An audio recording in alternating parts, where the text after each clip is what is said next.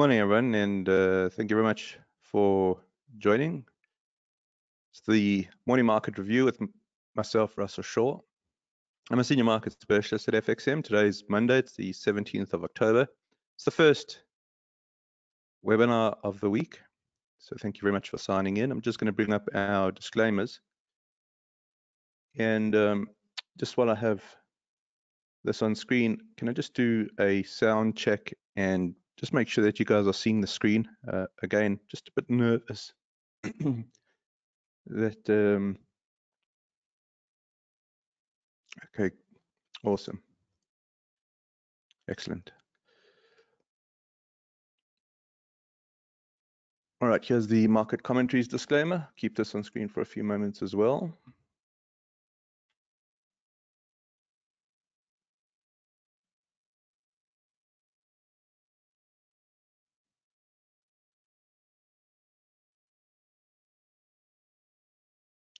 All right, and just our references, MarketScope, TradingView, and Bloomberg. I'm going to put it on uh, TradingView. This is the real rate, which I think is interesting. We'll talk about it in a moment. Let's just get through the five things to start your day. I'll try to get through it as quick, quickly as possible. Uh, the first headline reads, waiting for U-turns. The pound rose as much as 0.9% in Asian trading as investors uh, as investor confidence was bolstered by expectations that more of Prime Minister Liz Truss's package of unfunded tax cuts may be reversed. The newly, appoint, the newly appointed Chancellor of the Exchequer, Jeremy Hunt, said in a BBC interview that nothing was off the table when it came to potentially abandoning more of the Premier's planned measures. Still, the pound remain, remains vulnerable and the end of the Bank of England's emergency bond buying program on Friday could reduce further further ructions in gilt. While markets will be testing beleaguered, Truss her fate ultimately rests with a Conservative Party that has her scrambling to save her job. Next headline reads, uh, stands its ground. President Xi Jinping had a clear message to those who want to thwart China's rise. You will fail. In a speech running almost two hours on Sunday, Xi let the world know that China wouldn't change course even in the face of dangerous storms. And in a more and in a more hostile world, the Chinese leader hailed the nation's fighting spirit and said the country was well positioned for pursuing development and ensuring security. Xi's remarks indicate that China is ready to stare down a growing challenge from the US under President Joe Biden, who has moved to hinder Beijing's ability to access advanced technology and sought to deter any military action against Taiwan. Uh, next headline, energy crisis. The European Union's executive arm plans to propose a mechanism to curb price volatility, price volatility on the bloc's biggest gas marketplace and prevent extreme price spikes in derivative trading to rein in the region's energy crisis. The temporary mechanism designed by the European Commission would impose a dynamic price limit for transactions on the Dutch title transfer facility, whose main index is the benchmark for all gas traded in the continent. Commission President Ursula von der Leyen said earlier this month that the TTF no longer reflects the bloc's energy reality after Russia cut supplies to Europe. The Commission has been under mounting pressure from national governments to impose a cap on gas prices. Just uh, two more headlines here. Beyond the turmoil, investors are looking beyond a looming global recession and they see one country and its financial markets emerging strongest on the other side. US stocks and bonds will lead the way out of the current wave of market turmoil, according to respondents in the latest MLIV Pulse survey. Meanwhile, they reckon it's close to an even bet as to whether the UK economy or the euro area will fall into a slump first. Just going to um, jump to the next headline. Not over yet. French Prime Minister Elizabeth Borne called on striking refinery workers to return to work as fuel shortages worsened, and left wing politicians led a protest march against increased cost of living expenses. It's not normal that a minor minority of workers continue to block the country, Borne said in an interview.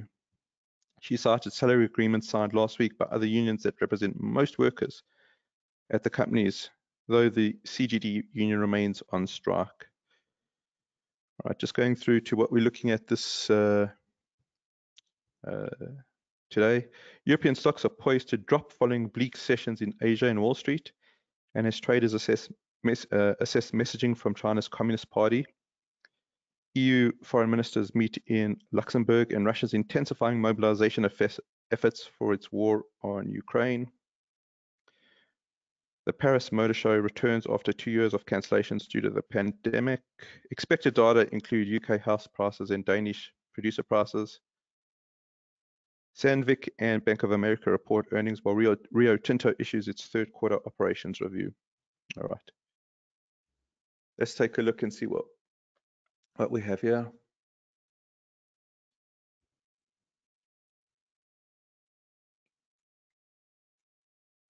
All right. So we're starting off with the the real rate. Uh, this is the um, this is the US uh, real rate, but it's it's actually um, served pretty well as a as a global um, indicator. Um, I want to just draw your attention to this HT question mark. So that's um, higher trough question mark. And we actually um, have to leave the question mark in here. We don't have the three conditions, right? So um, if we put in a arrow here just to highlight condition one, um, yeah, condition one. So this would be the lowest low in at least three candles. Uh, here's condition two. This is last week's candle. Okay, so we got condition two, but we didn't get condition three, which is everything, right? If you get condition three, you get condition two, but we don't have condition three. Um, in other words, we don't have confirmation that there is a higher trough here. Um, so that's interesting. So we've still got this um, HT question mark. Now, let's take a look at this with a contra um, analysis, contra view. What about last week's candle as a potential reference candle, but to the but to the um, bearish side? In other words, what happens if last week's candle um, is condition one, and then uh, let's take this line and put, put it there, right? Now we've got a different scenario in our hands. Now this may be um, an actual swing high. And if it's a swing high, all right, then we're getting the potential for a, uh, a clearance here, which is uh, which is a scenario that we've been looking at because the RSI tends to follow um, something called the Pareto principle. In other words, 80% of its time is spent between 20 and 80.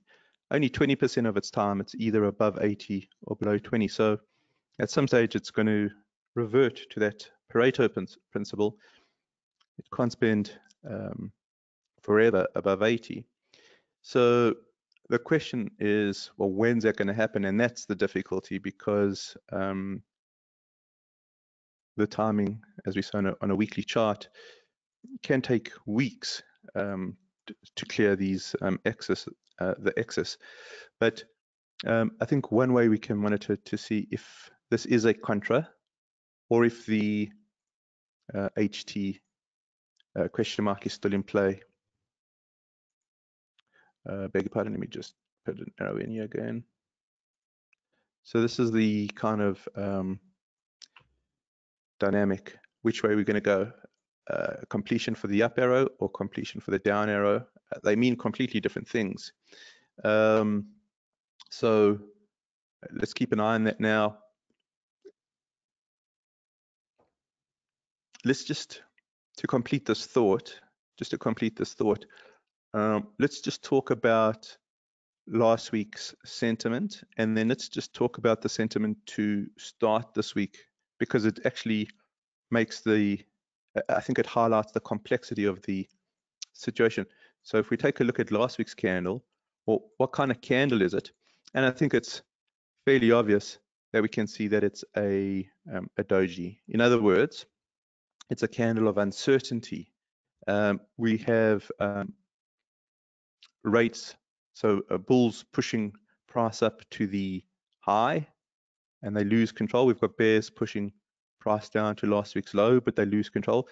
Where do we end? we, we end the week flat. So whilst the Bulls and the Bears each try to get a um, an upper hand, neither really succeeded. So there's a certain amount of uncertainty that um, um, that's obvious there, uh, and that continues actually into this week. But of course, this week's only just starting, so um, the analysis here is far from complete. But at the moment, it's an inside candle, which is also a sign of uncertainty. Um, and just to explain the sentiment there, bulls have not had the um, the strength or the will to take out last week's high. But in the same breath, we can say, well, the bears haven't had the um, strength or the will to take price below last week's low. So neither is in control. We're in a um, sort of a equilibrium for now, uh, which I don't think is going to last, right? So the question is, well, which way um, does the market go? Who's going to gain control? Is it going to be the bulls, or is it going to get? Was it going to be the bears? And the truth of the matter is, there may be a slight, uh, sort of slightly shorter odds to bet that the bears take control based on this overbought condition now. Um, we don't want to get fixated on that because anything can happen, right? We're still in this high, um, highly um, inflated economy. We know that the central banks are fighting tooth and nail to get that under control. However, all right, if there is a bearish um, bias as the week develops, I think then the uh, dollar takes a knock. Okay. Uh, now this is we're talking this what what we're saying a supposition. N none of this uh, may happen.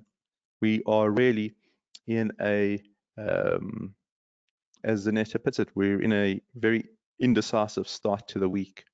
Okay, so we need to keep an eye on that. This indecision is going to again just uh, last week. I think um, it was obvious to see it's a difficult market environment. That difficulty continues into this week, specifically now because we've got to try to we've got to figure out which way the market's going to go. Not that clear. Um,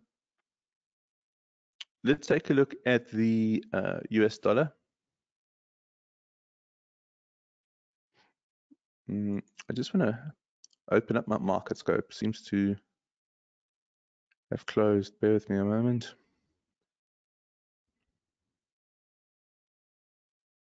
I'll bring the US dollar up over here in the meanwhiles. And we can start looking top down.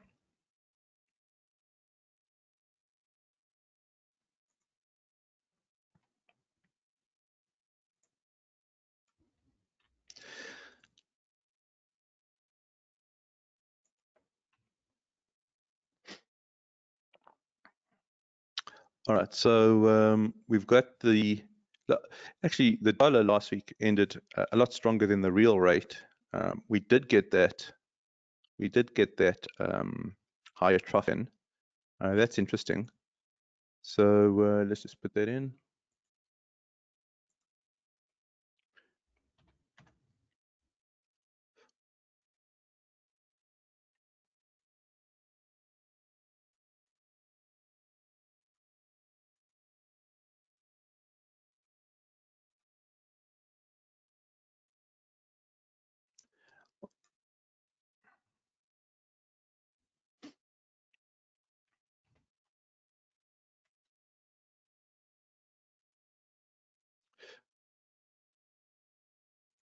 Okay, so there's the higher trough in the in the dollar, but I still think uh, we watch that real rate. I think it's going to take its cues from the uh, from the real rate.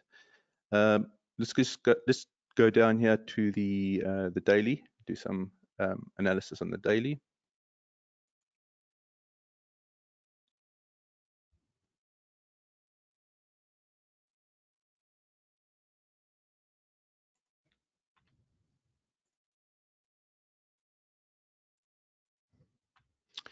All right, so we can uh, put in some peaks and troughs here. So this is on the uh, on the dollar, and remember, um, the question that was asked just a moment ago was, which way does the real rate go? I said the odds seem shorter to me that we see some sort of reduction. Um, again, it's it's hypothesis. We're going to see how it turns out for the week, um, just based on that overbought condition. Um, perhaps perhaps we see some sort of reflection of that in the in the dollar. Um, we'll have to see how it evolves for the week, but we've got peak here.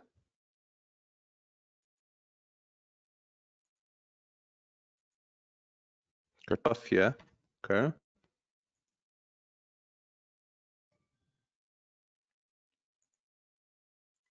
We've got a lower peak here.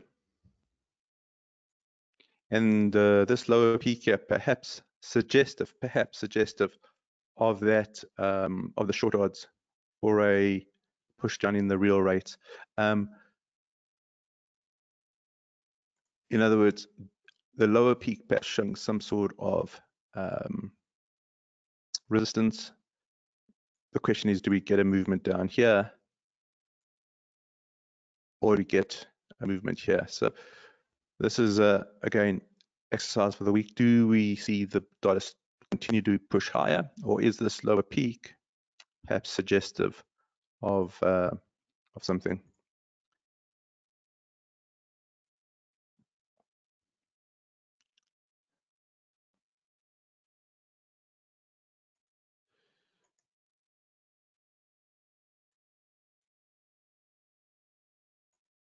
Okay, here's market scope. All right, this will make the analysis a little easier.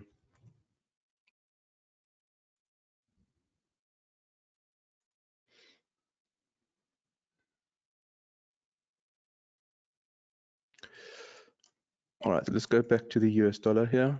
So we saw the uh, the lower the lower peak. Let's just take a look at in terms of the zones.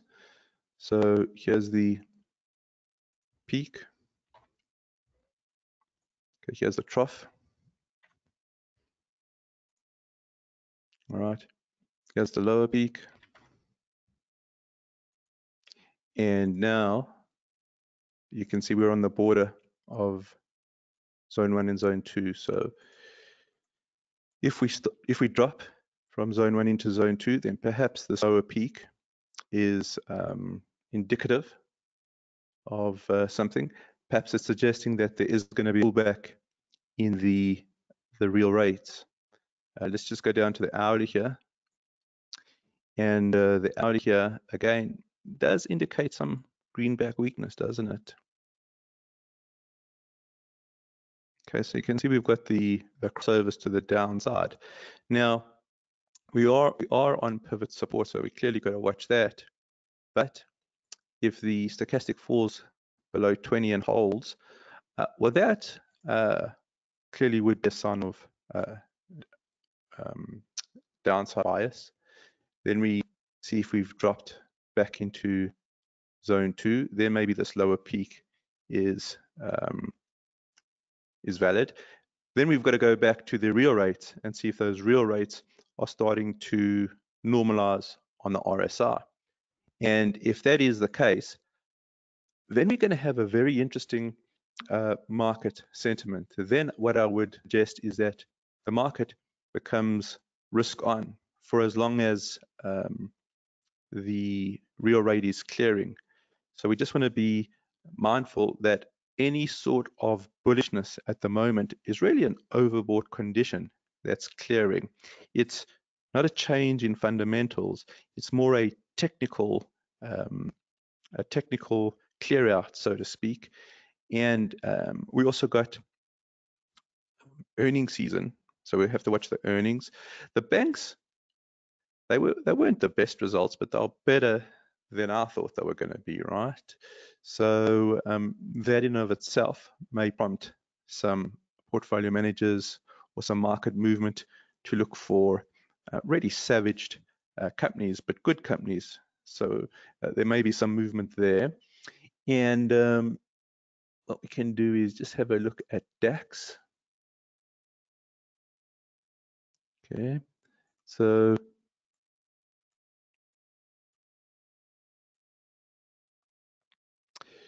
um, so the DAX weekly is still in downtrend. Um, there certainly is resistance here.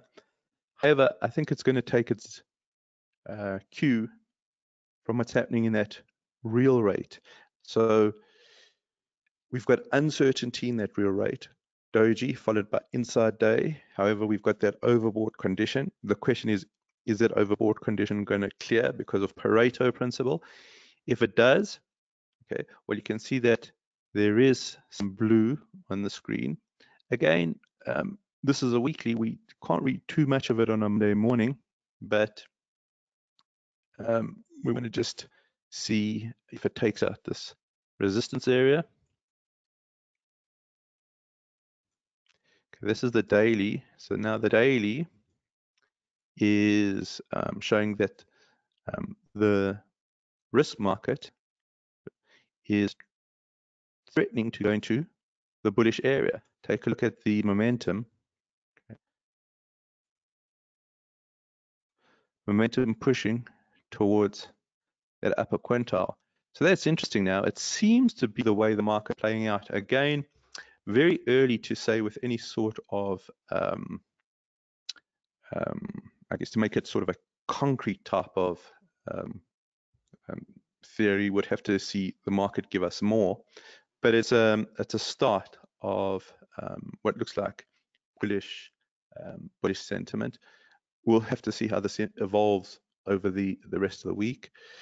Take a look at the hourly. So the hourly here is getting very interesting. Crossover, crossover. Does it make it through to the upper quintile and does it hold? Um, we've got a beat central pivot. We've got a beat R1, which has got um, a confluence here, doesn't it? It's got this price resistance. So there's two types of resistance here, but I think that the key driver here, the key driver here is real rate. What's going to happen with that real rate? Um, Let's see if we get the angle in separation on the EMAs. Let's see if the stochastic makes its way through to 80. So there are elements of risk on that are starting to seep through just at the beginning of the week. Whether they have legs or not, that is the tricky part. That's what we're going to have to monitor. Now, um, if DAX is showing signs of support, if dollar is showing signs of uh, um, weakness, What's happening on the uh, euro front? Let's go through the euro. I think that the weekly here um, is probably um, an inappropriate part of this analysis because when I say inappropriate, I must be careful what I say. Yes, it's in a downtrend, and the downtrend is going to continue for as long as the uh, peaks and troughs suggest it should. But given the um, what looks like to be a run sentiment merging, maybe the daily is something uh, to focus on for the time being. Um, Euro certainly not as positive as the previous chart we saw, which was the DAX. Um, it is um, above zone three, but it's still very much in neutral. Um, if the data takes a um, skew from a, uh, a weaker real rate. Uh, I would expect euro to be a beneficiary to that. Um, something to keep an eye on. Okay, we, we haven't seen the um, we haven't seen the start of of any positive movement yet. In fact, this is um, sitting in no man's land, isn't it? So uh, let's just take a look at the hourly. Mm, not the most convincing. See this uh, central pivot here is acting um, as a key resistor. Let's take a look at cable.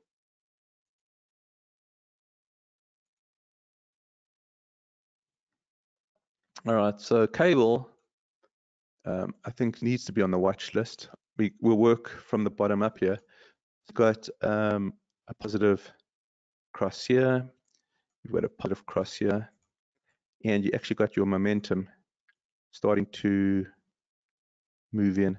Um, this is fraught with danger because of the um, the politics at work here. You know, um, it's there's still a certain amount of um, risk around that that could um, influence the market. So, yes, this is certainly a very um, um, chart, something that we should be monitoring. Just obviously understand the uh, drivers behind that.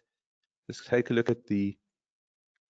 See, this is looking stronger than the euro, isn't it? So you can see, whilst the euro was very neutral, uh, this is on the border of neutral and positive.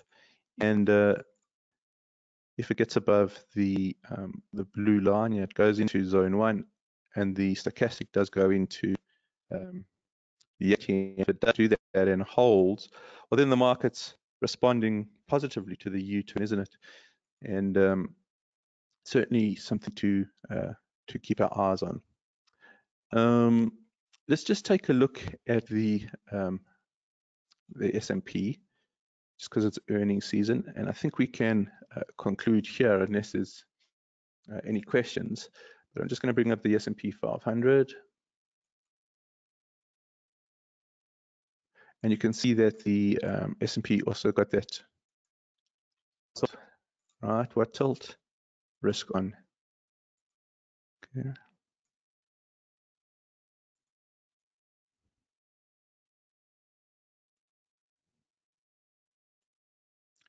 Key question is, does it make its way to 80 and hold? And if it does, I bet we'll see a, um, a pullback in the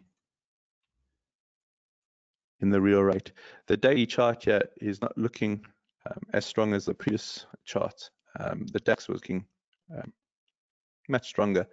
However, on a relative basis, um, if it makes a movement from zone three into zone two, well, that's relatively strong. It's not bullish. It's just a, a movement from weak into neutral is a positive step. And then does it go into zone one? And if it goes into zone one, do we stick out? I mean, do we do we get to 80 and stick around in 80? And then we get that I'm going to call it a dead cat bounce for now. We'll, we'll have to monitor it, but the thought, or my thoughts going into Q4 was um, that there is a strong probability of a dead cat bounce going into Q4. Um, I don't want to get caught up in that. Um, I don't want to make it. I don't want to um, sound like I'm predicting it. I, am not. I don't know if there's going to be a uh, a dead cat bounce. It just seemed seemed um, that there was a strong probability because of the overbought real rate. So the real rate is really the, the whole key behind the the hypothesis. If it remains overbought, then I'm wrong then the, uh, the, the, the bearish pressure continues. If there's a pullback, Q4 becomes remarkably interesting because it throws um, a lot of stress at market psychology, and that's going to be very interesting to um, to monitor. All right, I think that's where we shall uh, conclude for this morning. It's obviously um, this is the uh, the theory, the thesis that we're going to be monitoring for the rest of the week. Are, um, are we onto something?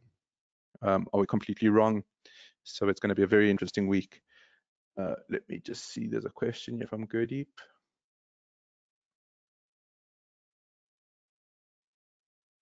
Uh, Gurdeep saying, a lot of commentators are saying a dead cat bounce could be contrarian. Um, yes, it, it definitely could be Gurdeep. I, I, just to reiterate, I think Q4 um, is a, in my opinion, a very complex analysis. Um, whether we can navigate it successfully or not is really going to be um, very interesting. Um, I think that the real rate, the monitoring of the real rate, you know, has served us pretty well until this point. Um, I'm going to remain using that as um, sort of the linchpin of the analysis, and we'll see we'll see how it uh, how it works out. but there's no doubt the complexities here are massive, massive. Um, and I think we've got to, um, you know, um, be quite, what's the right word? Um, modest. Is that the right word? Um, modest, not the right word. Uh, we just got to be really respectful. The market can do anything it's, that it's going to do. Um, yeah, he's saying he heard more mention of the median CPI. Yeah, so Larry Summers, who is a absolute heavyweight when it comes to um, economics, says that he watches the uh, the median CPI and he watches uh, the trimmed um, the trimmed uh, series as well. So uh, I'm extremely chuffed that we kind of in in there with Larry Summers. um, uh, yes, I did get the uh, email with the uh, the monthly chart. Let me take a look at that again, Zanetta. I'll I'll, I'll reply uh, during the course of the day. Um, alrighty.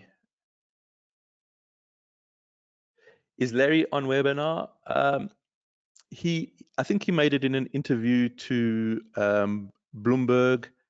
Um, so uh, I don't know. He, he, I don't think he's on webinar, but uh, I think that his interview will be recorded. um, alrighty. Uh, let's let us conclude at this point, guys. Uh, we shall um, speak tomorrow. Have a good day, good evening ahead, and uh, we'll touch base again tomorrow morning. Thanks very much, guys.